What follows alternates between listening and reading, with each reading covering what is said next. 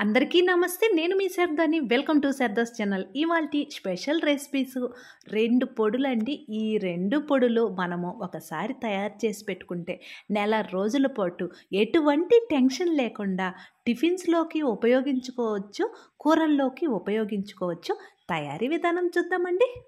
ముందుగా ఒక మందపాటి ఫ్రై ప్యాన్ తీసుకొని అందులో ఒక్క కప్పు పల్లీలు వేసుకొని లో ఫ్లేమ్లోనే కలుపుకుంటూ పల్లీలు వేయించుకోవాలి. ఓపిగ్గా చేసుకోవాలండి. అప్పుడే మనకి చక్కగా రుచిగా కమ్మగా పొడి తయారవుతుంది. హై ఫ్లేమ్ పెట్టామనుకోండి పప్పు పైన మాడిపోతుంది. లోపల పచ్చి పచ్చిగా ఉంటుందండి. లో ఫ్లేమ్లోనే వేయించుకుంటే లోపల వరకు పప్పు వేగి కమ్మగా ఉంటుంది. ఇలా వేగిన తర్వాత ఇందులో రెండు టేబుల్ స్పూన్స్ ధనియాలు రెండు టేబుల్ స్పూన్స్ తెల్ల నువ్వులు కానీ నల్ల నువ్వులు కానీ వేసుకోవాలి. ఒక టేబుల్ స్పూను జీలకర్ర. ఇవి వేసిన తర్వాత చక్కగా మీడియం ఫ్లేమ్లోనే ఇలా కలుపుకుంటూ వేయించుకోవాలి. ఇవి వేగిన తరువాత ఇందులో మనం తినే కారాన్ని పట్టి ఎండుమిర్చి తుంచి వేసుకోవాలి. ఎండుమిర్చి వేసిన తర్వాత మీడియం ఫ్లేమ్లోనే కలుపుకుంటూ వేయించుకోవాలి. ఎండుమిర్చి వేగిన తర్వాత అరకప్పు తినే శనగలు ఒక కప్పు ఎండు కొబ్బరి ముక్కలు వేసి ఇవి రెండు వేసిన తర్వాత ఎక్కువసేపు వేగనవసరం లేదండి. ఒక్క నిమిషం అలా కలిపి ఇలా స్టవ్ ఆపేస్తే సరిపోతుంది. ఎప్పుడైనా మనము పొడి తయారు చేసేటప్పుడు చల్లారిన తర్వాతని మిక్సీకి వేసుకోవాలండి. ఇలా కలిపి దీనిని పక్కన పెట్టుకుందాం. తరువాత కరివేపాకు పొడి కోసం ఒక మందపాటి ఫ్రై ప్యాన్ తీసుకొని అందులో ఒక్క స్పూను ఆయిల్ హీట్ అయిన తర్వాత రెండు టేబుల్ స్పూన్స్ పచ్చిశనగపప్పు రెండు టేబుల్ స్పూన్స్ మినప్పప్పు. ఇవి మీడియం ఫ్లేమ్లోనే కాస్త వేగితే సరిపోతుందండి. ఇలా వేగిన తరువాత ఇందులో రెండు టేబుల్ స్పూన్స్ ధనియాలు రెండు టేబుల్ స్పూన్స్ తెల్ల నువ్వులు కానీ నల్ల నువ్వులు కానీ వేసుకోవాలి. ఒక టేబుల్ స్పూను జీలకర్ర వేసి చక్కగా నువ్వులు చిట్టపటమని మంచి సువాసన వస్తుందండి. అప్పటి వరకు మీడియం ఫ్లేమ్లోనే ఇలా కలుపుకుంటూ వేయించుకోవాలి. చక్కగా వేగిన తరువాత అందులో మనం తినే కారాన్ని బట్టి ఎండుమిర్చి తుంచి వేసుకోవాలి. ఎండుమిర్చి కూడా మీడియం ఫ్లేమ్లోనే కలుపుకుంటూ వేయించుకుంటే మనకి గలగలమని శబ్దం వస్తుంది. అప్పటి వరకు వేయించుకోవాలండి. చక్కగా ఇలా వేగిన తరువాత ఇలా వేగినటువంటి పప్పులు మరియు ఎండుమిర్చిని ఒక ప్లేట్లోకి తీసేసుకుందాం. మొత్తం తీసుకున్న తరువాత అదే మూకుల్లో శుభ్రం చేసి నీడలోనే ఆరబెట్టినటువంటి కరివేపాకు అండి కరివేపాకు పొడికి మరీ ముదురుగా ఉండకూడదు మరీ లేతగా ఉండకూడదండి. ఇలా ఉంటే సరిపోతుంది. కరివేపాకు వేసిన తరువాత మీడియం ఫ్లేమ్లోనే ఇలా కలుపుకుంటూ వేయించుకోవాలి.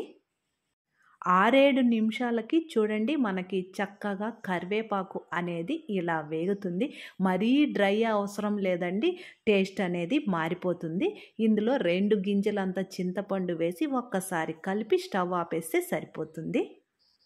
తరువాత తడిలేనటువంటి ఒక మిక్సీ జార్ తీసుకొని మనం ముందు వేయించి పెట్టుకున్నటువంటి పప్పులు ఎండుమిర్చి ఉంది కదండి అవి మొత్తం వేసుకొని రుచికి తగినంత రాళ్ళ ఉప్పు వేసుకోవాలి. ఇలాంటి పొడుల్లో రాళ్ళ ఉప్పు ఉపయోగిస్తే రుచిగా ఉంటుంది. తరువాత మిక్సీకి వేసుకొని ఒక్కసారి స్పూన్తో కలిపి కరివేపాకు వేసుకోవాలి.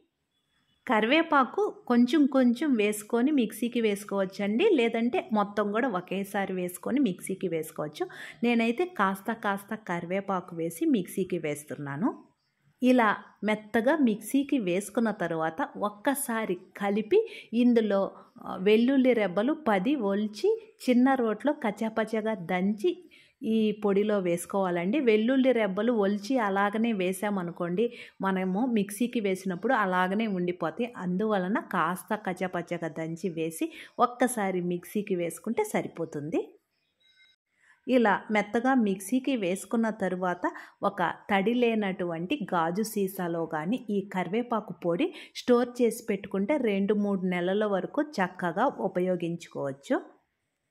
ఇలా తయారు చేసుకున్నటువంటి పొడి వేడి వేడి అన్నంలోకి వేసుకొని నెయ్యి వేసుకొని తింటే సూపర్గా ఉంటుందండి. మరియు ఇడ్లీ దోశల్లో కూడా చాలా బాగుంటుంది. ఒక్కసారి నేను చెప్పిన విధంగా ట్రై చేసి రుచి చూడండి. దీనిని పక్కన పెట్టుకుందాం. తరువాత అదే మిక్సీ జార్లో మనము పల్లీల పొడి కోసం వేయించి పెట్టుకున్నాం కదండి అవి వేసుకోవాలి. చల్లారిన తర్వాతనే మిక్సీకి వేసుకోవాలండి. లేదంటే పొడి పాడైపోయే అవకాశం ఉంది. రాళ్ళ ఉప్పు వేసి ఒకసారి మిక్సీకి మెత్తగా వేశాను. అంటే మిక్సీకి వేసుకునేటప్పుడు కూడా ఆపుకుంటూ వేసుకుంటే మనకి ముద్ద కట్టకుండా ఉంటుంది. రెండోసారి కూడా అదే జార్లో మిగిలిన పప్పులన్నీ వేసి రుచికి తగినంత ఉప్పు వేసి చక్కగా ఇంకొకసారి వేసి రెండు కలుపుకుంటే సరిపోతుందండి. ఇలా తయారు చేసి పెట్టుకున్నటువంటి పొడి అన్నంలోకి ఉపయోగించుకోవచ్చు టిఫిన్స్లోకి ఉపయోగించుకోవచ్చు. మరియు మనము వేపుడు కూరలు తయారు చేసుకుంటాం కదండి ఆ వేపుడు కూరల్లో కూడా చివర్లో రెండు స్పూన్స్ ఈ పొడి వేస్తే ఆ వేపుడు అనేది చాలా రుచిగా వస్తుంది. అంతేనండి. ఎంతో సింపుల్గా రెండు పొళ్ళు తయారీ విధానం చూశారు కదండి. ఇలా తయారు చేసి పెట్టుకుంటే ఎన్ని విధాలుగా ఉపయోగించుకోవచ్చో తెలుసుకున్నారు కదండి. ఈ వీడియో మీకు నచ్చినట్లయితే లైక్ చేసి షేర్ చేయండి. మన శారదాస్ ఛానల్ ఫస్ట్ టైం చూస్తుంటే మర్చిపోకుండా సబ్స్క్రైబ్ చేసుకొని పక్కన బెల్లైకాన్లో ఆల్ ఆప్షన్ని ప్రెస్ చేయండి. శారదాస్ ఛానల్లో ఇలాంటి రుచికరమైన పొడుల రెసిపీసే కాదండి. Health tips beauty tips kitchen tips unboxing videos shorts అన్నీ మీరు ప్లేలిస్ట్లో చూస్తూ ఉండండి నేను వేరొక వీడియోతో మీ ముందుంటాను. Thank you.